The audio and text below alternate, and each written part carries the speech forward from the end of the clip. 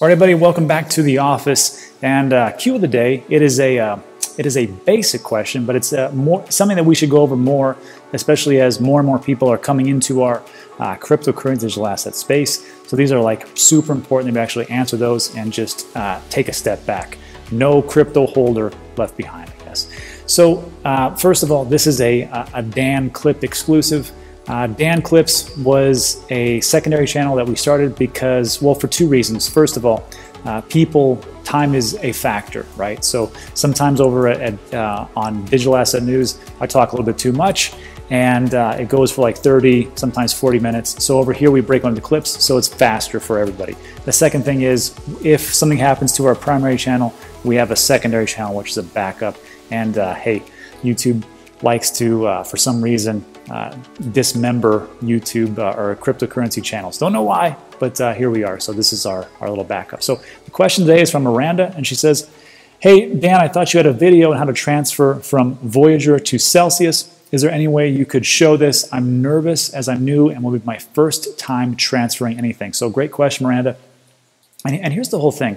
Um, I've been in the game since 2017, and I still get nervous transferring pretty much any amount of cryptocurrency out there because it's it's I mean we don't do it every day like, like, like we do with banks. We don't you know do wires and things like that. So when I'm doing this, I mean it's a it's a very simple process. Let's be honest. But you never know. You're like, well, hopefully this you know big I took this to the right address and I, I didn't do like a Bitcoin to Ethereum or I transferred XRP and I did a memo and I didn't screw that up. So don't worry. Every time I do it, I I still have a little bit of, a, of a, a, little heart palpitation. But I will say this, as time goes on, you do it more, it gets easier and easier, and uh, I think you're gonna like it. So here's what we'll do. What I'm gonna do right now is I'm going to open up, I'm gonna use my phone, and I'm gonna pop this over on the left side, and I'm going to show you exactly how I do this uh, from Voyager to Celsius. If you don't know, I've already transferred 25% of my entire crypto portfolio into Celsius, the Celsius app. And the reason is, is because I believe in Celsius, what they're doing. I believe in the CEO, Alex Mashinsky. Uh, I did an interview with him this week. And uh, the guy's very dynamic. He's the creator of Voice over Internet Protocol. He's already you know, created and sold different billion dollar businesses. So it's not like he's out there going, you know what, I just want to make a bunch of money. Uh, I don't think that's the guy's purpose. And what his purpose is, is to make the world just a little bit better. And that starts with money over internet protocol. Anyhow, let's jump into my phone and I'm going to show you exactly how this works. Okay, so here we are on my phone. There's my wife. Looking great, isn't she? All right, so um, what I'm going to do first is I'm going to open up Voyager and I'm to open up Celsius. So Voyager is in my crypto holdings or my wallet. Click on Voyager. So from here, here's, all my, here's my portfolio right now. And uh, not too bad. Hey, you know, Bitcoin almost got the one full one. Ethereum 14, Link, Dot, Cardano, USDC, VET, and Voyager. I, uh, so what I'm going to do, let's, uh, how about this? Let's make it simple. Let's transfer a little bit of Bitcoin. So what I'm going to do is I'm going to click on Bitcoin. Actually, I'm going to go back real quick. If I do, if I slide to the right, I can trade Bitcoin. Okay, so if I want to trade Bitcoin, it means I can buy it or sell it. I can't swap it for anything else. That's not how Voyager does things right now. So what I'm going to do here is I'm going to just click on Bitcoin, and it goes to this secondary screen. And it says you own 0.99 Bitcoin. Great. So I'm going to transfer a little bit of that. So what do I want to do? Do I want to deposit or withdraw? Well, I'm going to withdraw some Bitcoin. And uh, let's send over, I don't know, 100.0100, and then uh, that'll be like $103, something like that. So in the top right here, underneath withdraw Bitcoin, it says tap to paste the Bitcoin address. So this is where all the magic happens. So what I'm going to do is I'm going to open up Celsius. And Celsius always asks for two-factor authentication code. And it's kind of annoying, but guess what? It protects your cryptocurrency, so I'm going to allow it. So what do I do? Well, first, I'm going to go to my Authenticator app. If you don't have this, this is the Google two-factor authentication, and you can set it up in the security settings. I'll do a separate video for that. But this is just a secondary layer to help you with security. And as you can see, every, I think it's like every 30 seconds or something like that, the code changes. So I'm going to wait a little bit. And then see here under Celsius, okay, 287, I'm going to tap that. It's going to say copied.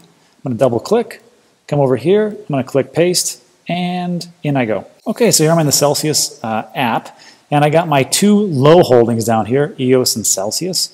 I want to show you everything. Uh, that's the keys of the castle. So what I'm going to do is I'm just going to click on, see that little C in the bottom right-hand corner? I'm going to click on that. It's pretty cool. All these little things pop up.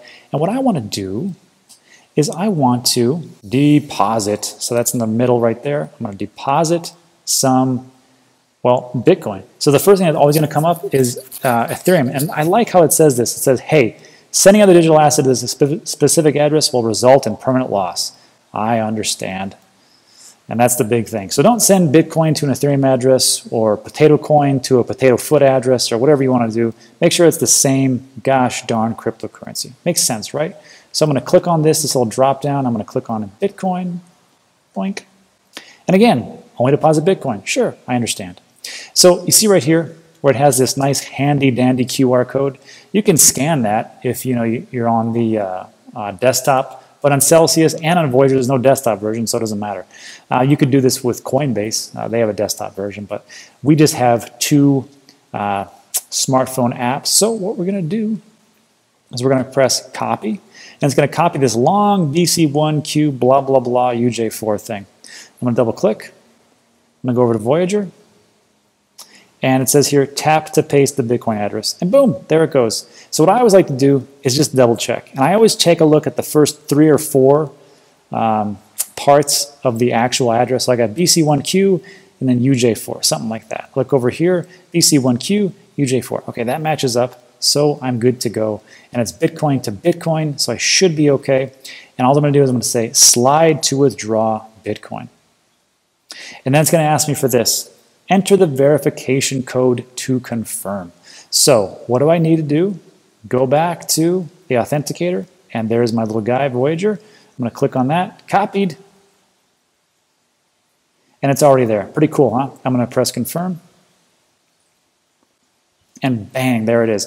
Now all I'm going to do, it's going to tell me to open my email client because it's also going to send me an email. This is where security comes into play, right? So if somebody hacks you, they got to hack your email address. They got to hack your phone. They got to get your Google two-factor authentication, all that stuff, which is kind of a pain in the tail, right? So I'm going to go to my email and I'm just going to click on yes, I accept that I'm trying to transfer this. And that's it. And then usually takes about, I don't know, 10, 20 minutes or so, and it should be in there and you should be okay. So I'm in my email right here, and it's going to say, this is how much? Yes, confirm withdrawal and withdraw confirmed. So then we're going to wait a little bit, and uh, that should be it. There's one thing I want to make mention about Voyager, and there's a couple of things. First of all, you can't send every single cryptocurrency from Voyager to another account, to your ledger, to Celsius, or to something else. And there's a list. Uh, I'm actually I actually link that in my uh, exchanges and wallet fees, which you can find in every single video that I do in the description. There's a link that's going to look like this. And you can go there and all the different uh, wallets and exchanges I've ever used or I've ever taken a look at, I have a, just an explainer of if I recommend them or not, or if I'm still using them. Voyager and Celsius are my one-two punch. I don't get anything special from them. They don't pay me anything. I just like to use them. Now, there is one caveat, and that is this. If you want to go right to Voyager, right to Celsius, you can do so and download their stuff and use it, which is great. Or if you want to, I have affiliate links and you can click on that and that will give you between 10 and $25 depending on which uh, exchange or wallet you want to use. Uh, but it's either way you want to do it, so what, it's all up to you. So for this type of thing with, with Voyager, you can't take every single cryptocurrency off. Now the big ones like Bitcoin, Ethereum, you can definitely take off of the exchange or it's a brokerage. It's not even, it's not an exchange. Voyager is not a exchange per se. They are just a brokerage. Kind of think of them like hotels.com. Hotels.com isn't like a hotel chain. It just kind of aggregates all the best hotel prices and go, hey, this is it. So do that one. And that's pretty much uh, Voyager. So um, you can do uh, that and use uh, Voyager itself. But, uh, but for me, I like to also use Celsius because that gives me uh, great interest rates. So, uh, but back to uh, Voyager, you can only take so many different uh, cryptocurrencies off that off that brokerage. And the other thing is that there is a fee to take different exchanges off of Voyager, and it just depends. Like like for Link, like for Chainlink, I think it's around four or five dollars to ship it off. And then with Bitcoin, I think it's like three or four dollars or something like that. So some people will complain like, man, that's a lot of money. I mean, to do all that stuff. I mean, if I'm sending 10 bucks and I, and I got to do four, that's not worth it. And guess what? You were correct. Do not do that. So what I always recommend is, look, it doesn't matter if you send, um, you know, 0.001 Bitcoin or if you send uh, 1,000 Bitcoin. It is the same uh, transaction fee to get it off off the uh, brokerage. So just be aware that uh, I would not, I would definitely not um, send a very little amount. Wait till you have a little bit more, and then uh, and then if not, if it just sits there, then hey, uh, you gain interest on it, so not too bad because Voyager also gives you interest. So that is one of the complaints. So I know like uh, our Cardano is one of those that will not be sent off. Uh, XRP, and I believe I believe VeChain, I'm not for sure, but um, I have that in the uh, description of that exchange and wallet fee. So that is it. So hopefully uh, from Miranda that answers the question. And uh, you know, these are one of those things that um, it is a little bit uh, nerve-wracking to send over because I mean that was just a hundred bucks, but imagine doing that for like a hundred thousand dollars at the click of a button. Can you pull the trigger?